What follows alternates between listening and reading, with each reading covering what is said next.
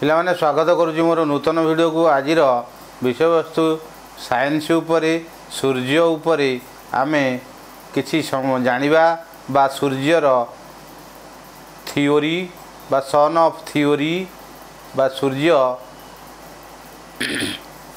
ବିଷୟରେ ବା ସମ୍ପର୍କରେ କିଛି ତଥ୍ୟ ଆମେ ଜାଣିବା। ଚାଲ ଯିବା ପ୍ରଥମେ। ଆମେ ଦେଖିବା ଭାଗ ଏକ ପାର୍ଟ ୱାନ୍ ସୂର୍ଯ୍ୟର ଗଠନ ଚିତ୍ର ଦେଖ ସୂର୍ଯ୍ୟର ବାୟୁମଣ୍ଡଳ ବା ସୂର୍ଯ୍ୟର ସମ୍ପର୍କରେ ତଥ୍ୟ ସୂର୍ଯ୍ୟର ବୟସ ପାଞ୍ଚ କୋଟି ବର୍ଷ ସୂର୍ଯ୍ୟର ବ୍ୟାସ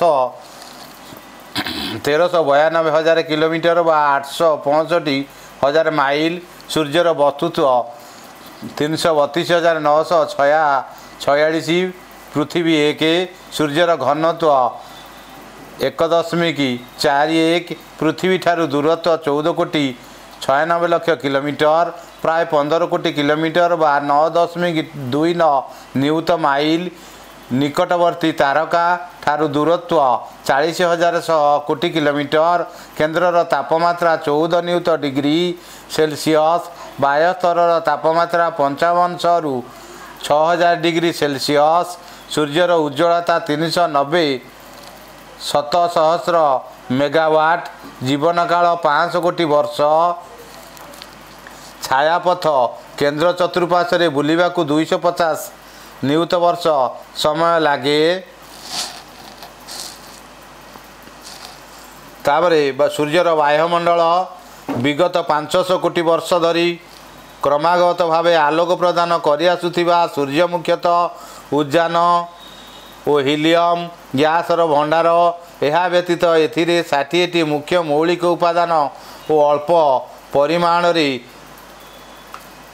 ଅଳ୍ପ ପରିମାଣରେ ରହିଥିବାର ମଧ୍ୟ ଉପାଦାନ ଜଣାଯାଇଛି। ସୂର୍ଯ୍ୟର ଅଭ୍ୟନ୍ତରରେ ତାପମାତ୍ରା ପ୍ରାୟ ଦୁଇ କୋଟି ଡିଗ୍ରୀ ସେଲସିୟସ୍ ହୋଇଥିବା ବେଳେ ଏହାର ବାହ୍ୟ ଅଞ୍ଚଳର ତାପମାତ୍ରା ପ୍ରାୟ ଛଅ ହଜାର ଡିଗ୍ରୀ ସେଲସିୟସ୍। ପ୍ରଚଣ୍ଡ ତାପମାତ୍ରାରେ ସୂର୍ଯ୍ୟର ଅଭ୍ୟନ୍ତର ତଥା ବାହ୍ୟାଞ୍ଚଳରେ ଥିବା ପଦାର୍ଥର ପାରମାଣବିକ ଗଠନ ଭାଙ୍ଗି ରୁଜି ଯାଇଥାଏ। ଇଲେକ୍ଟ୍ରନ୍ ନ୍ୟୁକ୍ଲିୟସ୍ ଚାରିପଟେ ନ ଘୁରି ଅଲଗା ହୋଇ ଘୁରିବାରେ ଲାଗେ। ପଦାର୍ଥର ଏପରି ଅବସ୍ଥାକୁ ପ୍ଲାଜମା କହନ୍ତି। ସୂର୍ଯ୍ୟର ବାହ୍ୟଭାଗ କେତେକ ଗ୍ରାନିୟୁଲ ଦାନାରେ ଗଠିତ। ଏହା ବାହ୍ୟସ୍ତରରୁ ଲକ୍ଷ ଲକ୍ଷ ମାଇଲ ଉଚ୍ଚକୁ ଉଠିଥାଏ। ଏହିଭଳି କେତେକର ଆକାର ପ୍ରାୟ ଏକ ହଜାର କିଲୋମିଟର ଲମ୍ବ ବା ତହିଁରୁ ଉଚ୍ଚ ଓ ଅଧିକ।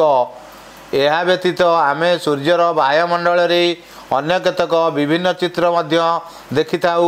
ସୂର୍ଯ୍ୟର ବ୍ୟାସ ପୃଥିବୀର ବ୍ୟାସ ଠାରୁ ଶହେ ଦଶ ଗୁଣ ବଡ଼ ସୂର୍ଯ୍ୟର ଗଠନ ଅନୁସାରେ। ସୂର୍ଯ୍ୟର ଗଠନ ଅନୁସାରେ ଏହାକୁ କେତୋଟି ବିଭାଗରେ ବିଭକ୍ତ ହୋଇଛି ଯଥା ସୂର୍ଯ୍ୟର ଅଦୃଶ୍ୟମାନ ସ୍ତରକୁ ଆଲୋକମଣ୍ଡଳ ବା ଫଟୋସ୍ପିୟର କହନ୍ତି। ଏହି ଫଟୋସ୍ପିୟର ମଣ୍ଡଳରେ ଅତ୍ୟଧିକ ଉତ୍ତପ୍ତ ବାଷ୍ପ ପ୍ରାୟ ପଞ୍ଚାବନଶହ ଡିଗ୍ରୀରୁ ଛଅ ହଜାର ଡିଗ୍ରୀ ସେଲସିୟସରେ ଥାଏ। ଫଟୋସ୍ପିୟର ଉପରି ଭାଗରେ ଥିବା ସ୍ତରକୁ ପ୍ରତ୍ୟାବର୍ତ୍ତୀ ସ୍ତର ବା ରିଭର୍ସିଂ ଲେୟାର କହନ୍ତି।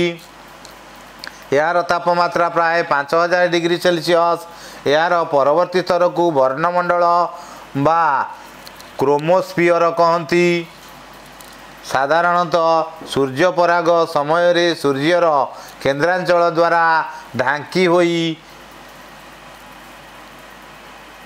ଢାଙ୍କି ହୋଇ ଉଦ୍ଯାନ ଗ୍ୟାସ୍ ସରି କେନ୍ଦ୍ରାଞ୍ଚଳ ଦ୍ୱାରା ଢାଙ୍କି ହୋଇ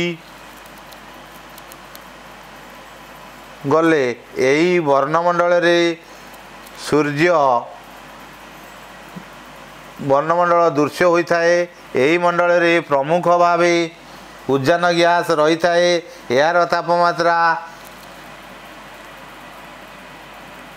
ଚାରି ହଜାରରୁ ଆଠ ହଜାର ଡିଗ୍ରୀ ସେଲସିୟସ୍ ଏହା କେବଳ ଏକ ହଜାର କିଲୋମିଟର ଯାଏ ସୂର୍ଯ୍ୟ ମଧ୍ୟରେ ଶକ୍ତି ବିନିମୟ ମଣ୍ଡଳ ଅଛି ସୂର୍ଯ୍ୟ ଶିଖା ଅଛି ଅନ୍ତଃସ୍ଥଳ ଅଛି କିରୀଟ ମଣ୍ଡଳ ଅଛି ପରିଚାଳନା ଆଚ୍ଛାଦନ ଅଛି ସ୍ଥାନ ବର୍ଣ୍ଣମଣ୍ଡଳ ଅଛି ଏବଂ ଆଲୋକମଣ୍ଡଳ ଅଛି। ସୂର୍ଯ୍ୟର ଏହା ଗଠନ ତେଣୁକରି ପିଲାମାନେ ଆପଣମାନଙ୍କୁ ଯଦି ଭଲ ଲାଗୁଥାଏ ଲାଇକ୍ କରନ୍ତୁ ସେୟାର କରନ୍ତୁ ସବସ୍କ୍ରାଇବ୍ କରନ୍ତୁ। ରହୁଛି ନମସ୍କାର।